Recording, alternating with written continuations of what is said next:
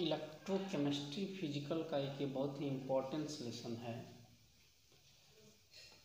आज हम बात करेंगे इलेक्ट्रोकेमिस्ट्री क्या है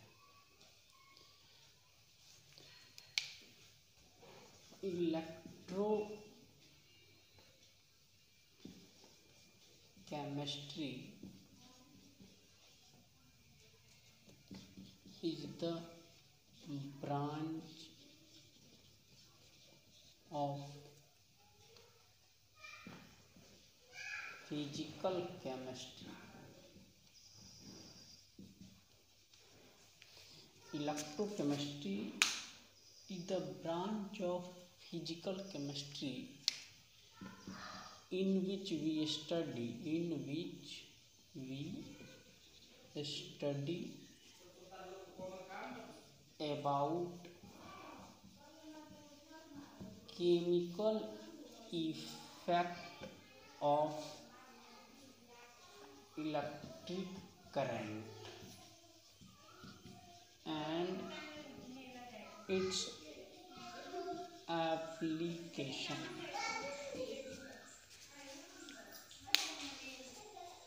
electrochemistry is the branch of physical chemistry in which we study about about chemical effect of electric current and its application electrochemistry physical chemistry की एक ऐसी शाखा है जिसमें हम रसायनों पर विद्युत के प्रभाव का अध्ययन करते हैं मतलब कोई रसायन है उस पर विद्युत देने पर उस पर क्या क्या इफेक्ट होगा जैसे सोडियम क्लोराइड है नमक है उसमें अगर विद्युत देंगे तो क्या उस पर प्रभाव होगा कोई भी कंपाउंड केमिकल है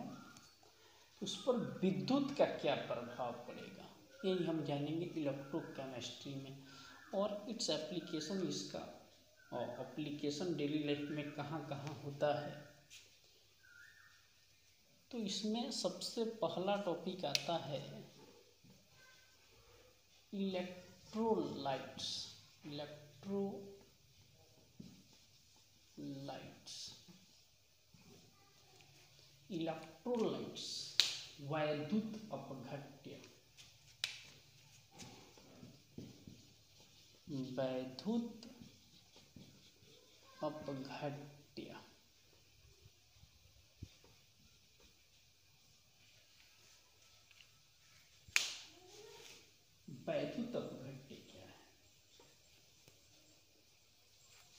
कोई एक ऐसा कंपाउंड कोई एक ऐसा यौगिक है जिसके जलीय विलियन बनाकर के उसमें वैद्युत धरा देने पर आयनों में वो टूट जा रहा है तो ऐसा रसायन जिस पर विद्युत का प्रभाव पड़े जिसमें विद्युत धारा देने पर आयन में टूट जाए तो ऐसे कंपाउंड कहलाते हैं इलेक्ट्रोलाइट्स एक ऐसा कंपाउंड जिसमें करंट देने पर आयनों में टूट जाए जिससे करंट फ्लो हो आयन डिवाइड हो जाए ऐसे कंपाउंड होते हैं इलेक्ट्रोलाइट्स इलेक्ट्रोलाइट्स के कुछ एग्जाम्पल जैसे N H C L C U S O four copper sulphate Z N S O four zinc sulphate ये इलेक्ट्रोलाइट्स अगर इन केमिकल इन कंपाउंडों में आ, वाटर मिला करके जल मिला करके उसमें करंट दिया जाता है तो ये सभी कंपाउंड जो होते हैं करंट फ्लो करते हैं आयन में डिवाइड होकर के करंट फ्लो करते हैं तो ये सभी हैं इलेक्ट्रोलाइट्स दो compound conduct electricity during divide into ion called electrolytes एक ऐसा कंपाउंड जो आयन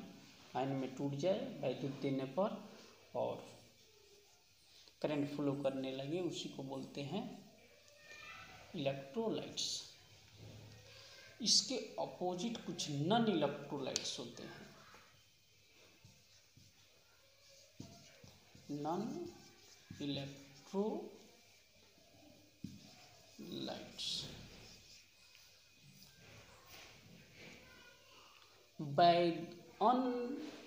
अपघट्य वैद्युत अन अपघट्य है वैद्युत अनपघट्य एक ऐसा कंपाउंड जिस पर करंट देने पर एक ऐसा जिस पदार्थ जिस पर करंट देने पर उस पर कोई इफेक्ट नहीं हो जिससे करंट फ्लो ना हो ऐसे पदार्थ कहते हैं कहलाते हैं नन इलेक्ट्रोलाइट्स जिस पर करंट का कोई प्रभाव नहीं पड़े जो आयनों में नहीं टूटते हैं जैसे प्लास्टिक रबड़ भी आपके नन इलेक्ट्रोलाइट्स के एग्जाम्पल हैं प्लास्टिक और रबड़ से तो करंट जनरली फ्लो होगा नहीं तो ये नन इलेक्ट्रोलाइट्स हैं इससे आयनों का फ्लो नहीं होता है हमें इस चैप्टर में इलेक्ट्रोलाइट्स पढ़ने हैं नॉन इलेक्ट्रोलाइट्स नहीं नॉन इलेक्ट्रोलाइट्स वे कंपाउंड वे पदार्थ होते हैं वे मैटर होते हैं वे सब्सटेंस होते हैं जिससे करंट फ्लो नहीं होता है उसको आप चाहे वाटर में डालो तो जैसे भी उससे करंट फ्लो नहीं होता है जैसे प्लास्टिक बड़ा हो गया ईट पत्थर भी ऐसे नॉन इलेक्ट्रोलाइट्स हैं जिससे करंट फ्लो नहीं होता है और ऐसे कंपाउंड जो आयन में टूटते हैं जिनसे इलेक्ट्रिक फ्लो होता है वो होते हैं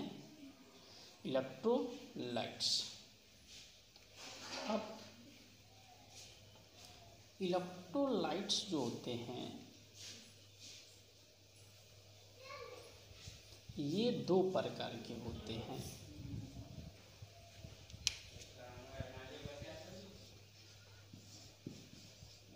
a strong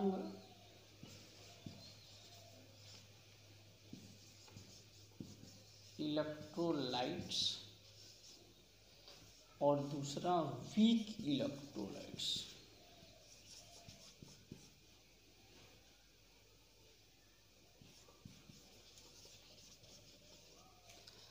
स्ट्रॉन्ग इलेक्ट्रोलाइट्स क्या होती है प्रबल वैधुता प्रखंडी स्ट्रॉन्ग इलेक्ट्रोलाइट्स ऐसा इलेक्ट्रोलाइट्स ऐसा वैद्युत अपघट ऐसा कंपाउंड जिसमें करंट देने पर एक ऐसा इलेक्ट्रोलाइट्स मिला जिसमें करंट देने पर हंड्रेड परसेंट मतलब पूर्णतः आयनों में डिवाइड हो जाए उसको बोलते हैं स्ट्रॉन्ग इलेक्ट्रोलाइट्स जो पूर्ण रूप से आयनों में टूट जाता है पूरा पूरा आयनों में टूट जाता है हंड्रेड परसेंट आयनों में टूट जाता है उसको कहते हैं स्ट्रॉन्ग इलेक्ट्रोलाइट्स जो इलेक्ट्रोलाइट्स आप पूर्णतः जलीय विलयन में आयन दे देते हैं पूर्ण रूप से आयन में टूट जाते हैं स्ट्रॉन्ग इलेक्ट्रोलाइट्स हो जाते हैं जैसे एच जब एच